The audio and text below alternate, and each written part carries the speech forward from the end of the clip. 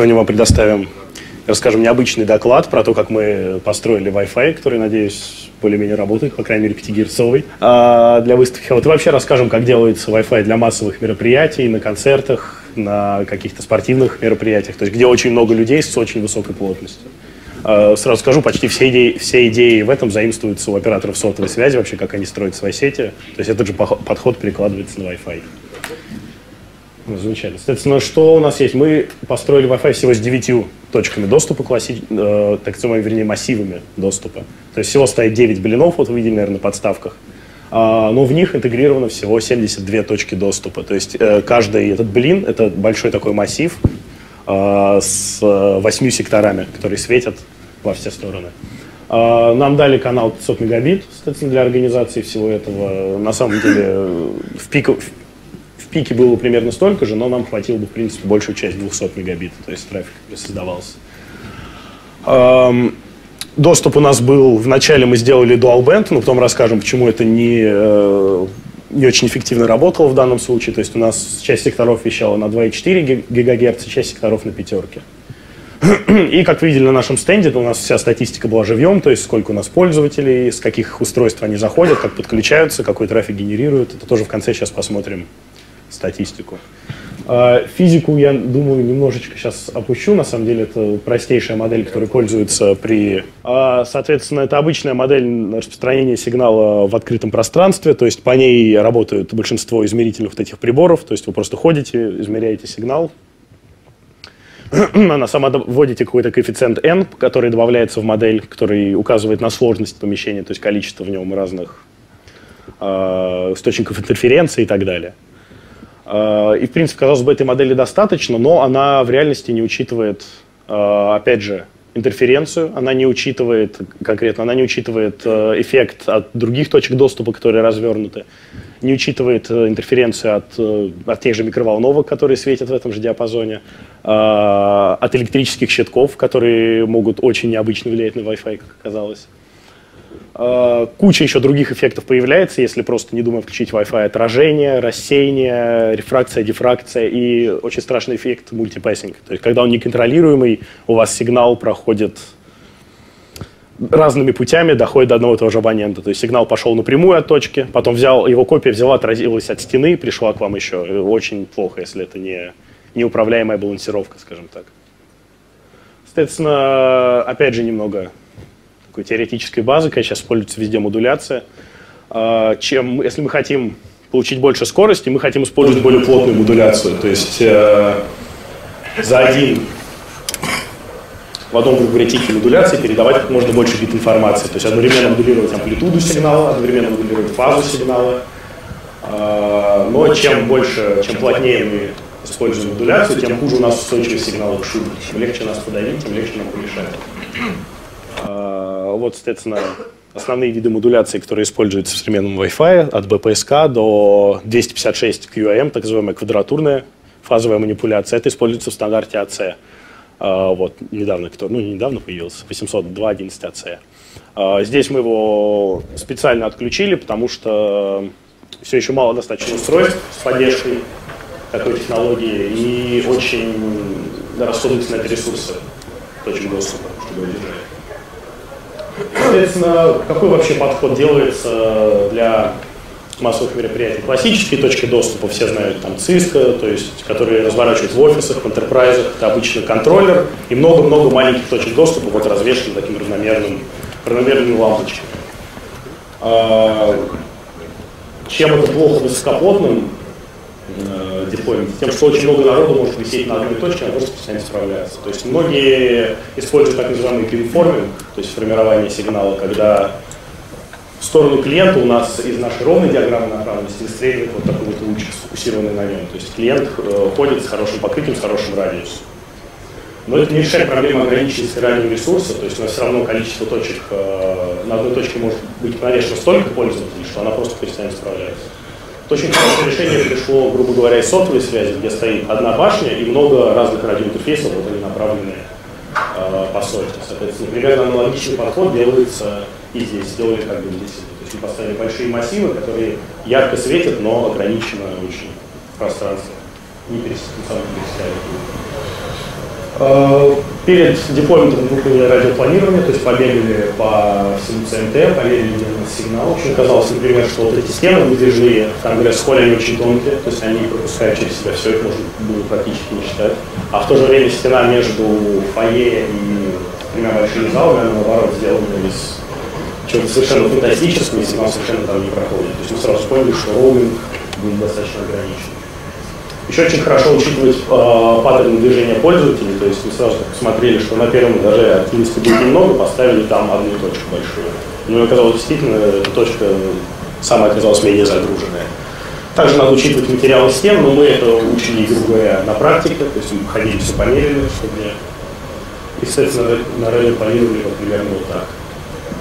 То есть у нас три точки стоят там, э, секция конгресс-зала. У нас одна точка стоит здесь, вот мы, по-моему, там мы спрятаны по сцене. А, две точки стоят. Да-да-да.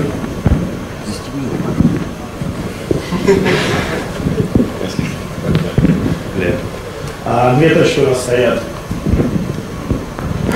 Две точки у нас стоят в лобби с двух сторон. А, и две точки в амфитеатре. Ну, казалось, там наверное, тоже не так много, можно было, наверное, обойтись даже одной.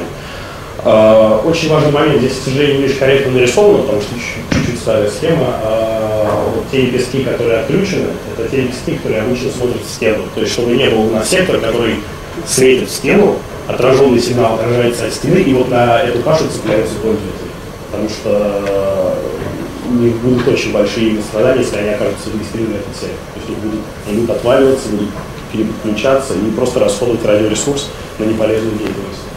А, поэтому на самом деле, примерно в этой точке отключится если сектор, который смотрит в стену, а в этих точках отключен вот этот сектор, который смотрит никуда. Э, ну, не отключен, но заниженной мощности, он используется между мониторинга ресурсов, то есть мы не снизим. А, еще один момент, с которым столкнулись, а, это Rogue IP, то есть особенно в диапазоне 2.4 гигантское совершенно количество здесь точек доступа, здесь светят CMT-шные точки, здесь, здесь светят просто какие-то непонятные точки доступа.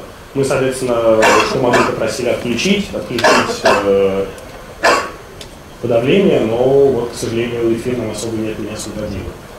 Э, мы тоже, на самом деле, подумали на время конференции включить подавление собственное, э, чужих точек доступа, но решили все-таки не делать, потому что, опять же, это расходует радиоресурс. Когда клиент постоянно включается, включается, посылает пробы, это тоже себе завал.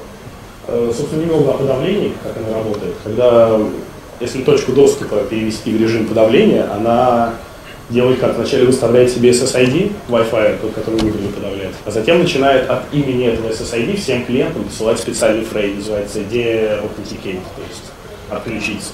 Так как на начальной фазе переговора, ну, установления соединения помощи шарвания нет, просто достаточно поддельного SSID, поддельного MAC-адреса точки, и все, и клиенты будут цепляться, отваливаться, цепляться, отваливаться.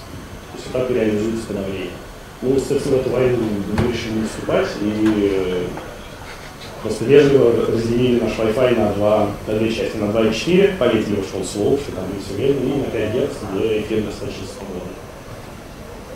А, дальше. Соответственно, ну, ничего сложного по логике мы здесь не сделали, то есть это массив точек доступа, вышли HTTP сервер от э, аутентификации пользователей через некоторое время отказались для простоты, потому что раздавать всем логины, потом кому-то не досталось логина, кто-то пароль не смог записать, решили отказаться, сделали Wi-Fi просто открытый. А, также делали вначале station shaping, но потом посмотрели, что у нас опять же канал достаточно толстый и забивается, и отключили. А, настроили подключение клиентов на основе энергетики, то есть это в чем смысл? Точки доступа более агрессивно дропают клиентов со слабым уровнем сигнала. То есть они не дожидаются, пока клиент сам отвяжется и перейдет на следующую. При достижении определенных порогов этого сигнал шум, клиент просто специально дропается, чтобы он, больше, чтобы он быстрее перешел на точку с лучшим уровнем сигнала. То есть так э, держится более-менее хорошая сигнал-скорость. Э, зарегистрировали бродкасты, запрет, запретили межстанционное прямое общение, то есть по-хорошему не должны станции общаться друг с другом, то есть даже пинги не должны работать, это мы поверили Лену, не знаю, кто там работает, нет. Ну и поставили ну, примерно схема набросанная видео, очень быстро, ничего такого сложного нет. Поставили маршрутизатор, завели систему управления, завели точки, заработал быстро. А важный момент в этом всем – это балансировка нагрузки. То есть, если у нас стоят массивы, и в них много-много радиоинтерфейсов, как мы вообще мы можем сделать, чтобы клиенты равномерно висели по радиоинтерфейсам, чтобы не все скучковались на одном и завалили его? А, мы не можем вообще сказать клиенту, включи сюда, включи сюда. Но вот мы можем выборочно не отвечать на его реквесты. То есть клиент начинает, начинает посылать свои пробы, пытается найти хорошую для себя точку, но мы отвечаем пробы только с того радиоинтерфейса, который сами решили ему отдать.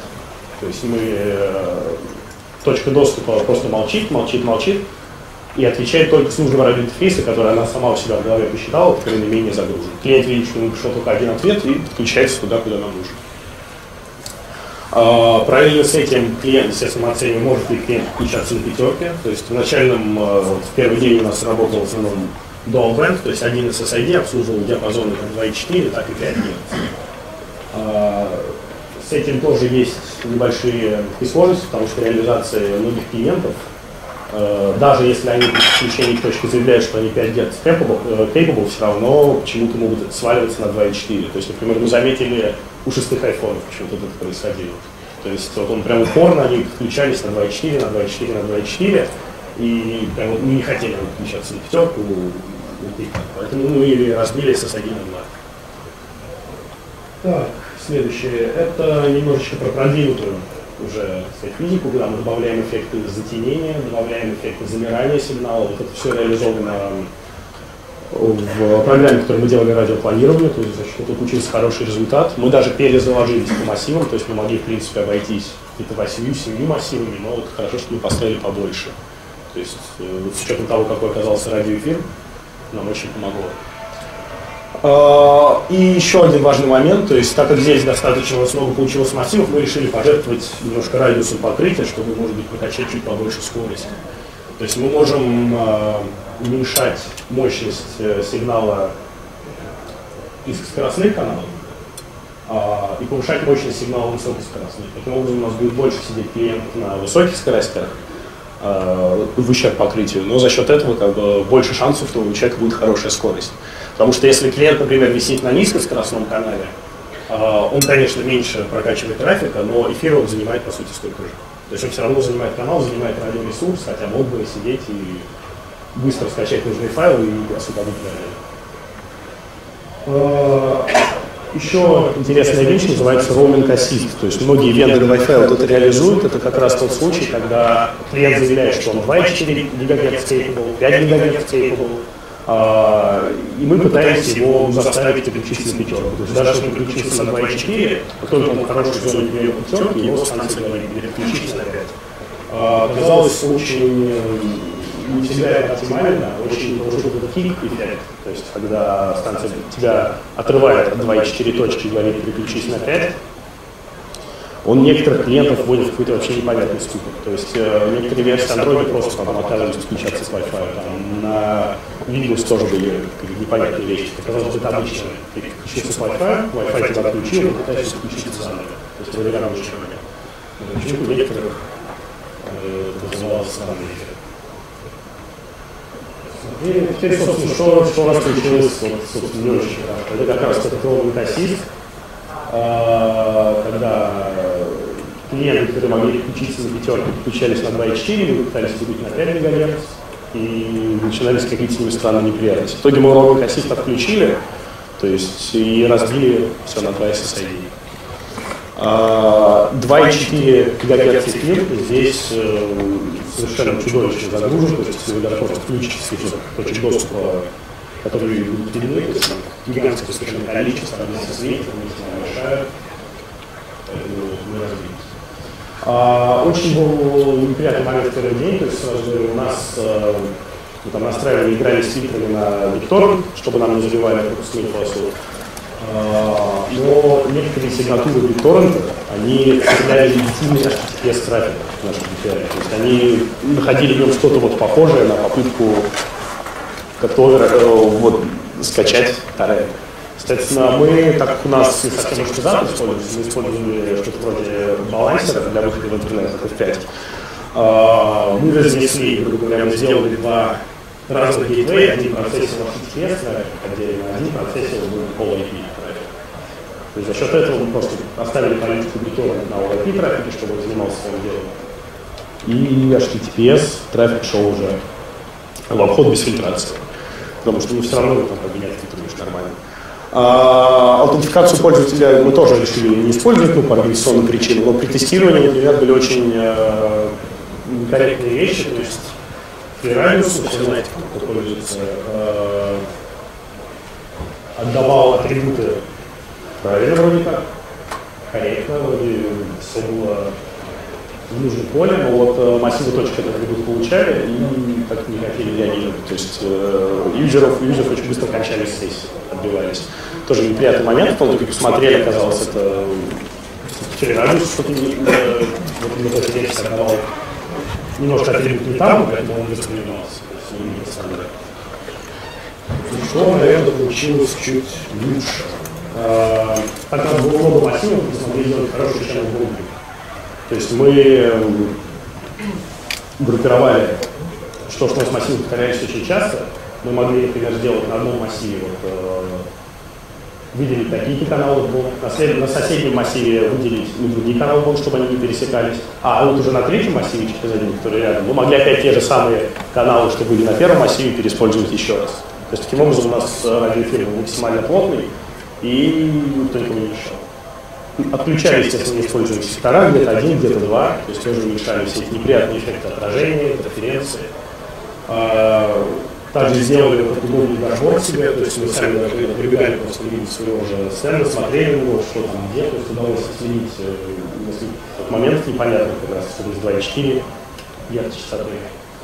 А, и так как мы использовали балансировщик вместо маршрутизатора, то есть э, с одной стороны, это было плохо, что там не было из коробки многих вещей, вот вроде ILG, Application Layer Gateway, то есть который может сшить сессии протоколов DCPA, FTP, PPTP, то есть сложных протоколов, которых ну, несколько портов используются сразу, то есть при прохождении через NAT подобные протоколы обычно разваливаются, потому что это две сессии по определенным портам, прошли через NAT, порты поменялись, все, все развалилось. А, соответственно, так как мы используем балансировщик, мы быстренько написали ILG буквально пару строчек скрипта, чтобы он зашивал. И надеюсь, что вроде заработал.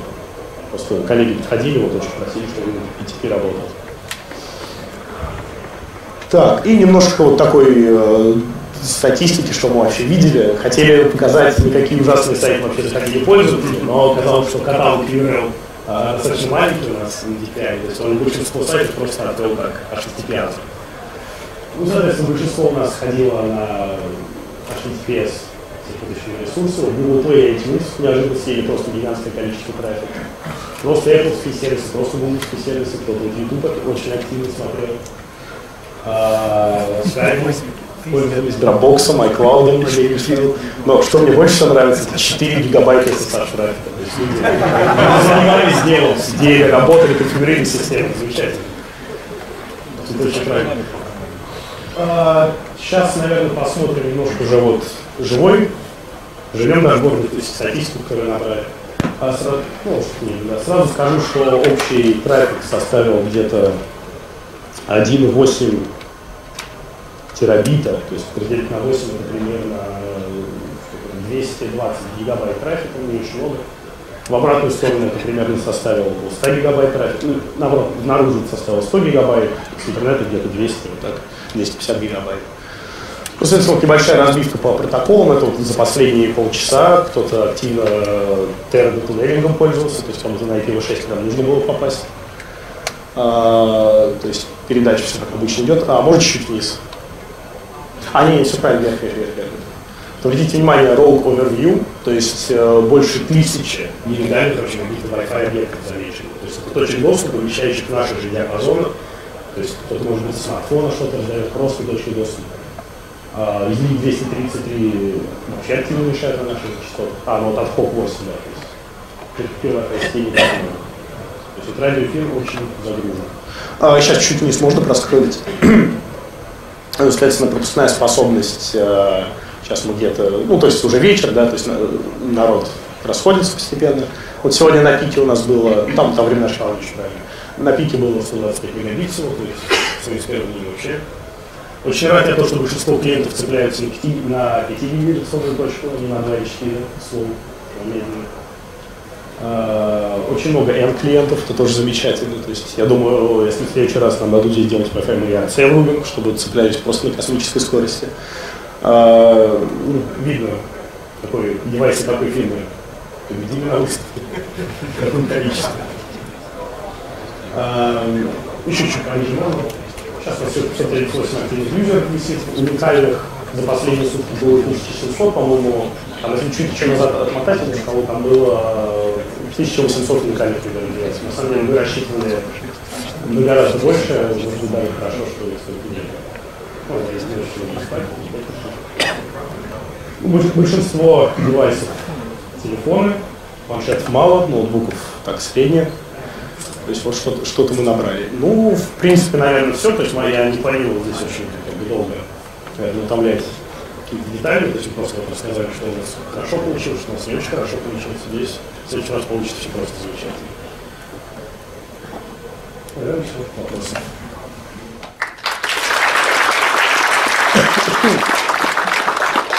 Спасибо за доклад. А, скажите, а VPN вы отслеживали? Как а, да, у нас там есть где-то статистика. Э, можешь переключиться на этот самый?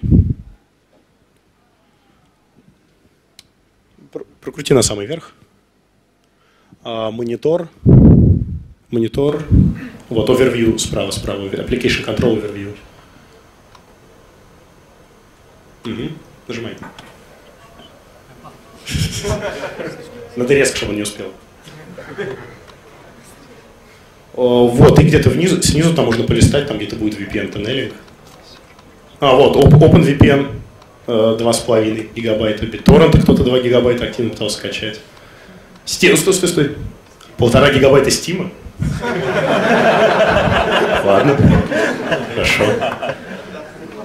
А дальше что там у нас IPsec? Вот IPsec VPN 678, ну, LiveJournal нормально, да, там спастись.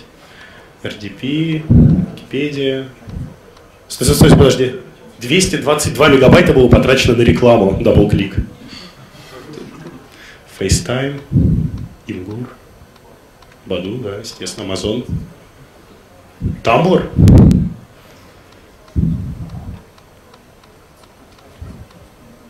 Алибаба. Кто-то кто пошопиться решил, там, не знаю, нефтью сырой. Ну, это про промышленная торговая платформа, то есть там можно ресурсы покупать вот, больших предприятий. Ну, тут уже... Мало. Ну да, да, да, остальное уже там чуть осталось. Ну да, VPN был. Тор? Тор, да. Он определил. Наркотики покупал. Слушай, а я, не, а я не вижу. А, вот, да, 27 мегабайт. Знает толк безопасности.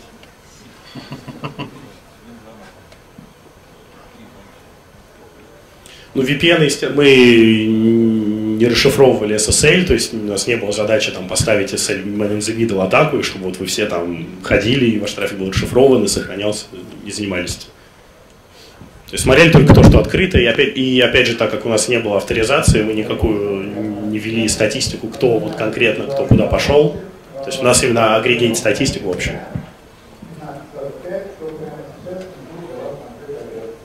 Э, здравствуйте, можно вопрос? Да, конечно. А скажите, как можно защититься от э, SSID-точек, которые мешают? Например, в офисе там есть, да, сверху, снизу э, Wi-Fi точки, они реально мешают э, работе вашей.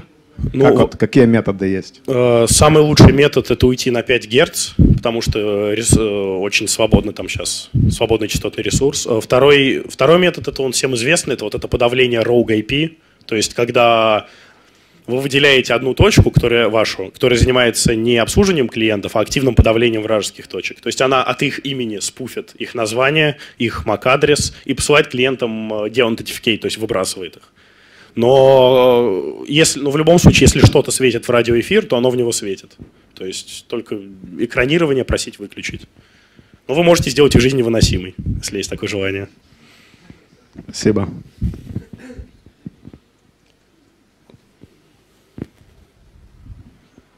А раз уж речь зашла вот о этих точках, вы как-то учитывали расположение вражеских точек при планировании? Э, Где они, с какой силой вещают? А, э, они висят, э, вот точки самого ЦМТ, они висят просто под потолком, так более-менее равномерно они распределены. То есть они во всех залах висят. А, на самом деле не учитывали, потому что от них особо не спастись. То есть они светили вообще везде. То есть они светили в залах, они светили в фойе, они светили в коридорах. То есть, ну, там как, как, как-то надо было... Поэтому располагали наши массивы именно исходя из того, чтобы обеспечить ну, хорошее покрытие. Спасибо.